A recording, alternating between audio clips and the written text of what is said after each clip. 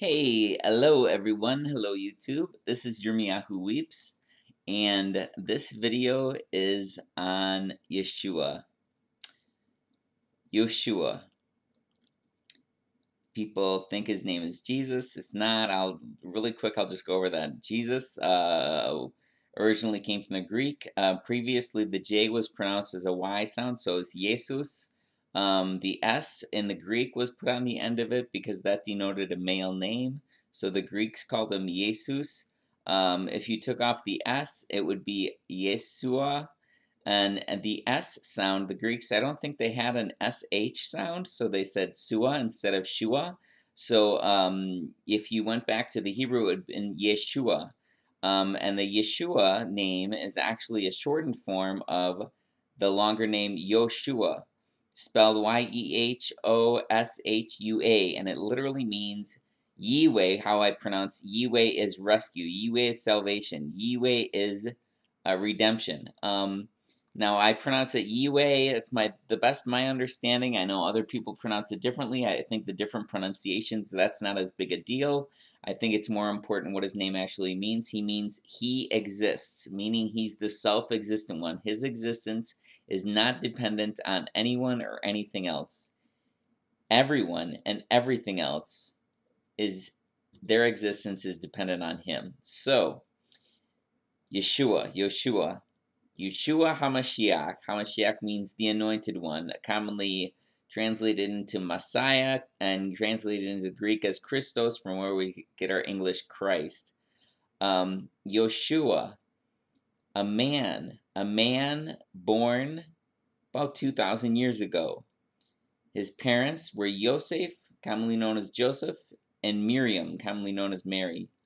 His two parents, human parents, he got his Davidic line, kingly line, a line from David or Dawid, um, through Yosef, whose genealogies are given in Mattatyahu or Matthew and Luke. Um, Luke is the legal genealogy, which is basically kind of like a stepfather, a stepfather of Yosef, and Mattatyahu is his um, natural, through literal birth genealogy. Okay, um, and I I'm not going to go into that right now, but they're both the genealogies of Yosef, um, showing that Yosef was from the kingly Davidic line. And thus, Yoshua, since Yosef is his father, Yoshua qualifies as being the king, um, the Mashiach king. Mashiach meaning anointed one, they would anoint kings and priests um, for their office. So, anyways, to show that they had um, the spirit or power of Yahweh. Um, and someone was asking about my dog, so there's my dog. Hey, puppy. This is what he likes to do. Just hang out. He's content. So, anyways, yeah, just showing my showing my dog. But yeah, on oh man, my video. There's my head. Okay, um, so Yeshua, Yeshua, Hamashiach, he has been my hero for a long time. Since I was in high school, he was my hero. Before I was a believer in Yah, before I was a Christian, he was my hero. He was my hero because he was true and real in the face of opposition. He was, um, and he had character. Awesome, awesome, awesome character. Um, and I loved that about him. He was true. He was not full of crap. I loved that about him too.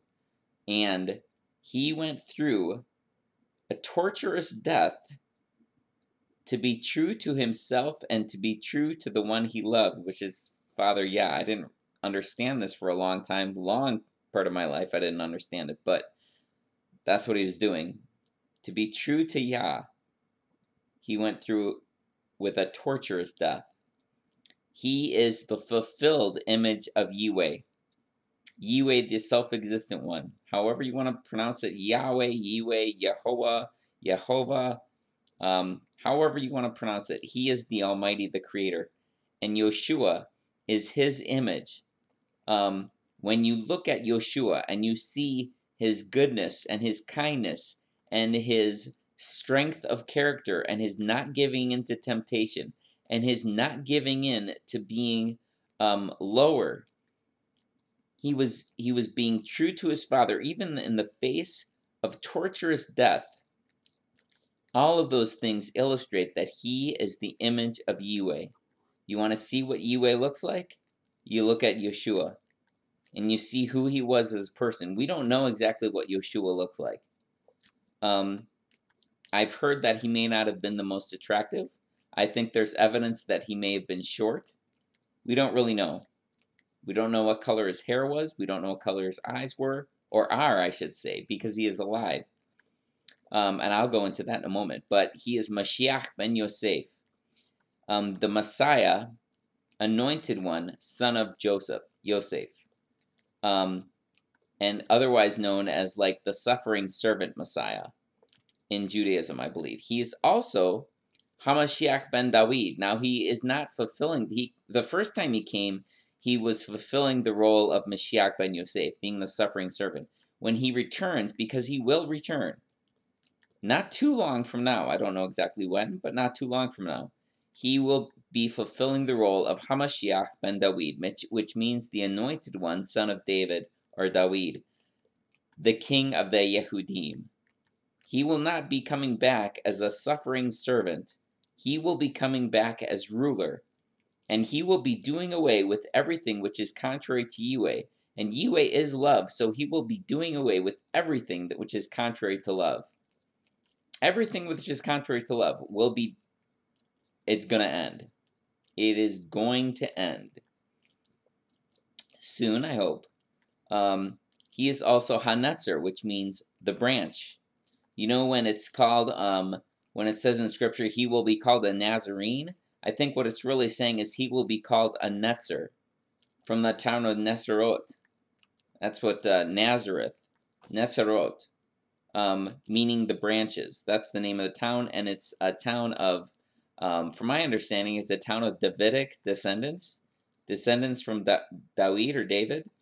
And Mashiach will be called Hanetzer, the branch. It's it's a term that's mentioned like maybe five times in Scripture in the Tanakh, Old Testament, I believe. Um, but yeah, he'll be called the branch. He'll also be called Tzemach Tzedakah, which means the upright branch. He is the son of man or son of Adam, because Adam, the name Adam, Adam means man. So he is the son of Adam. You know where um Yahweh tells Adam and Hawa that right after they uh, violate Yahweh's instructions, and Yahweh comes and he says, "What's going on?" I mean, I'm paraphrasing. Um, he says, "What's going on?" And and Hawa says, "Well, no." Adam says, um, "She she she she gave me the fruit and I ate it." Um, and so he talks to her and she says, "Well, the the serpent he he deceived me and I ate." Um, and he says, "Well, okay, since since you did this, um, since the three of you did this, these things are going to happen, cause and effect. You did this, this is going to happen."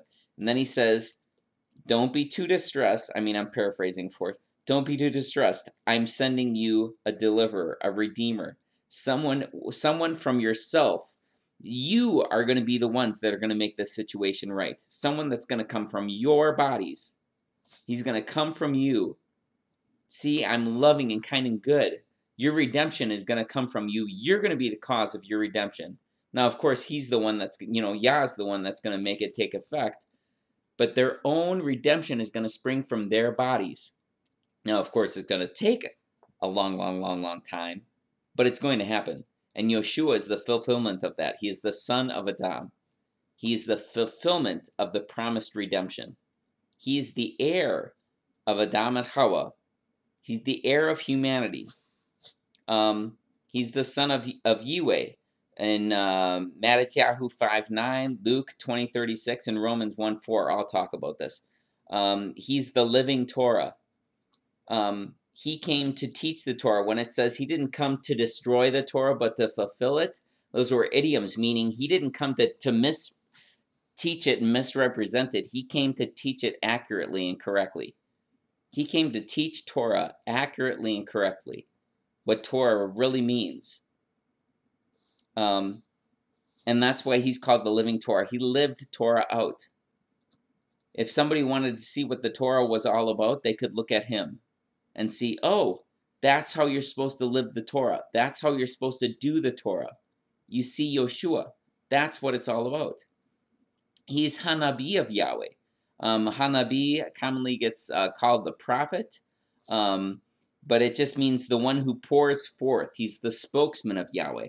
Um, and you know, in uh, in the Tanakh, I can't remember exactly where, but it says that um, Moshe is talking Moses, and he says, uh, "Someone Yah is going to send someone like me, a prophet like me, who you have to listen to. You have to listen to him. He's going to send someone like me. You have to listen to him." Yoshua is the one he was talking about. Um, he's a servant of Yahweh. Um, he's the Kohen Hagadol, which means the high priest, according to Melchizedek. Um, you know, in, in Hebrews, I believe it, it talks about he's the high priest according to Melchizedek. He's the Kohen Hagadol, the high priest. Um, the Levitical priesthood has been superseded by the Melchizedek priesthood, and he is the high priest. He's the bread of life. He's the way, the truth, and the life. Now, I believe that um, when he said these things, he's speaking on behalf of Yah, Yahweh. So when he says these things, that's actually Yahweh being the way, the truth, and life. But Yahweh is identifying himself with Yoshua, and Yoshua is identifying himself with Yahweh. So they're two separate beings, but they're identifying with each other. Um, similar to when two people are married. Um, they're no longer just completely independent of each other. They're united. They're united. Um, um, Jim and Tammy Smith. I don't know these people actually. I'm sure they exist, but I don't know who they are or anything. I'm just making up the names. But Jim and Tammy Smith. Well, who's the Smiths? Well, they're united, Jim and Tammy. Yeah, you can have one without the other, but they don't want to have one without if it's a healthy marriage they don't want to have one without the other they're united they're they're the two become one so anyways it's the same thing with Yoshua and Yahweh um, Yahweh identifies himself and I'll get into that in a minute but no I think I'll do it already the name Yahweh um, is composed of four letters it's the Yod He Wah it's a picture of um, an arm with you know an arm and a tent peg no, no, no. An arm and then a person whose arms are extended basically going, look at that. And a tent peg and then another picture of a person going, look at that. So it's saying, look at the arm or hand or wrist. Look at the nail or tent peg. So look at the nailed wrist. So the name Yahweh, the name of the Creator, is pointing to his son. He's directing people's attention to his son. He's saying, look at the nailed hand. That's what I want you to be looking at. I'm I'm the ultimate, the ultimate of all things says, look at him. That's where I want your attention to. And the name Yeshua means Yahweh is rescue. So the father's all busy pointing to his son, and the son is all busy pointing to his father, saying, He's rescue.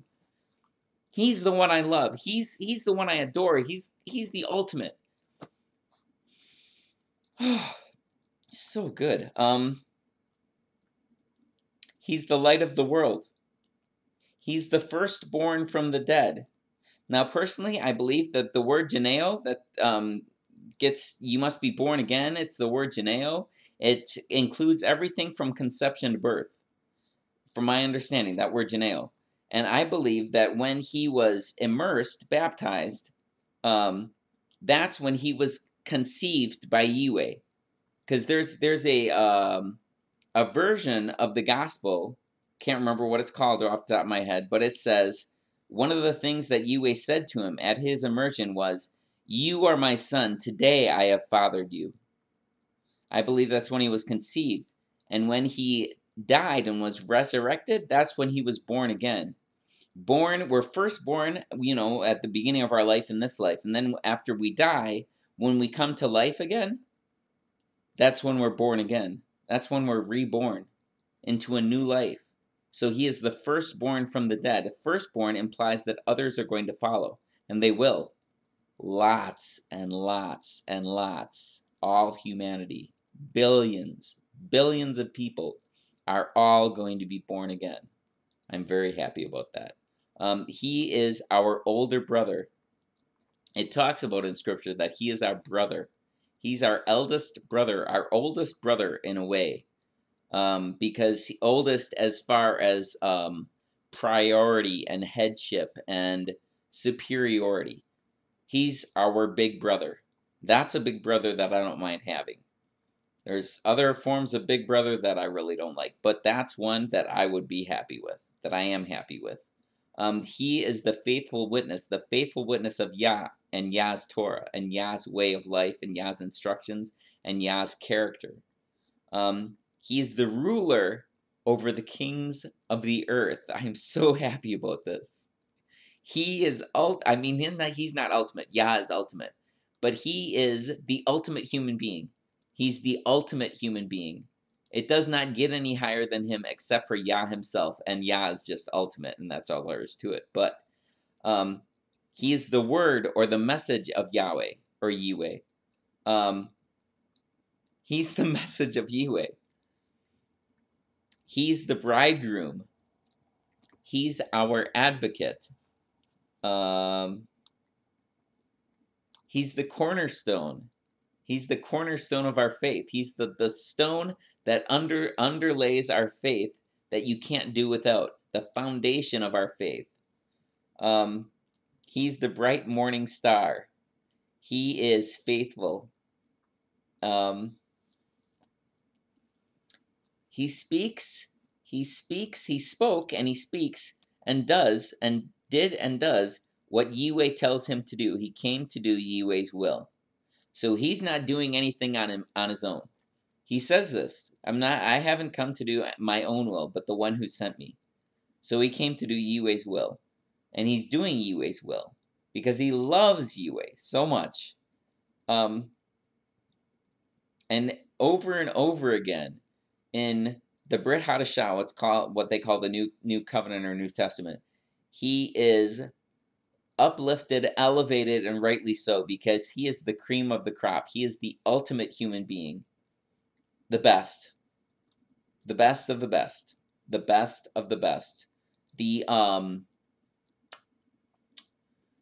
uh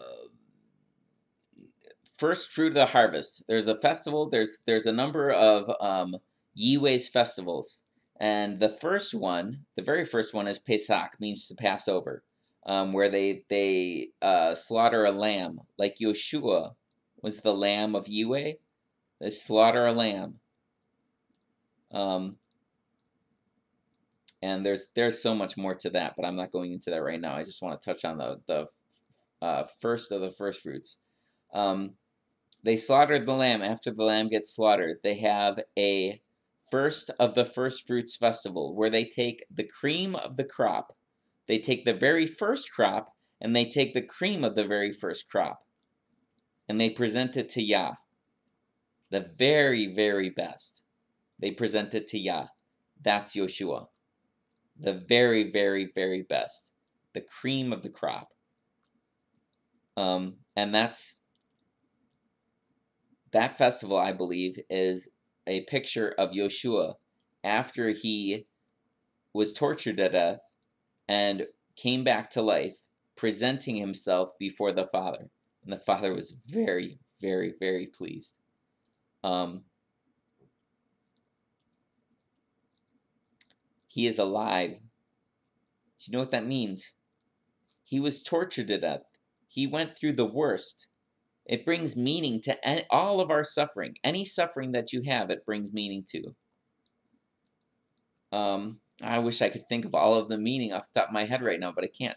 Um, but everything you go through has meaning and purpose. Everything. Everything. Because of Yeshua. Because Yah purposed for Yeshua to be who he was.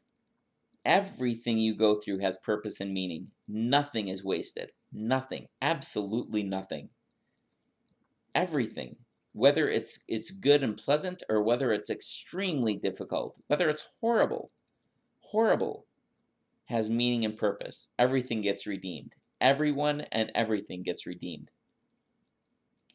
Um and after he suffered and died and tortured to death he came back to life. So he conquered the worst. The worst of it. He conquered death and he conquered the most horribleness. And he is alive. Now he is alive. He's gone beyond just the earthly human existence. He's still human, but he's not just the earthly, fleshly human existence. He's gone to the next stage, I guess you could say. The next way for us to exist. He was able to appear and disappear out of rooms, and he was still, he, he was like, touch me and see, I'm real, I'm human. Flesh and blood. I've got flesh and blood. But then how does he appear and disappear out of rooms? Without using a door. Personally, my theory is that um, just like now, our minds are dependent on our bodies. If your body dies, there goes your mind. I believe then it's going to be that our bodies will be dependent on our minds, that your mind is able to do and control your body. But so he's he's alive um, and he has been alive and he will never die. It's impossible for him to die now because he has conquered death. And that is what we are heading towards. We will die, all of us will die, but we will conquer death because of because of Yah, because of him, and ultimately because of Yah, because Yah purposed for him to be the way he was and to be the way he is, and to do what he did and to do what he does. Yah purposed all of it because he loves us passionately loves us. Passionately loves us. So, yeah, Yoshua is the ultimate human being. He he was tempted, which shows that he had to have been a human being to be able to be tempted. And he overcame the temptation. Very difficult temptation, but he overcame. And he was true. And his character held his whole life. He never violated love. He never violated goodness. He's my hero. Want to be like him. Because he's it. He's where it's at. Because he points to the Father. And the Father points back to him. Anyways, yeah. So, um, Yoshua the best of the best. The very best of the best. Very glad. Conquered death. It's where we're headed. Loving, kind. I want to be like that. I'd like to be like that. I will be like that. If I'm not already, I will. Because of him. So will you, whoever you are. That's where you're headed. That's what's going to happen. So, Yeshua, the best of the best. Yeshua, the ultimate human being. Yeshua, my hero.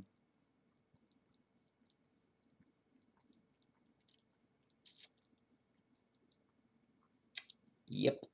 Okay, thank you very much for watching. If you have anything to add, um, any comments, any feedback, anything, that'd be great. I hope that you're doing very well. I hope you have a very good evening, night, morning, uh, lunch, breakfast, dinner, whenever you watch this. And I hope that you have a very good life. Uh, thank you. And au revoir, bon voyage, sayonara, ciao, arrivederci, um, uh, adios, uh, ni hao, do svidania, slán, bye.